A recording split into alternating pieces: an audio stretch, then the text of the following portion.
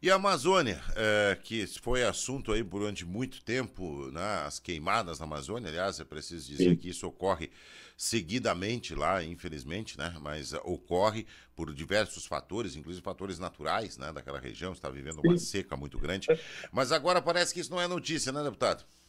É, porque é normal o que acontece. Tentavam culpar o Bolsonaro por tudo, inclusive aumentando as queimadas na Amazônia, mas não isso acontece, ainda mais na seca que está passando a Amazônia, como nunca teve nos últimos 50 anos ou mais.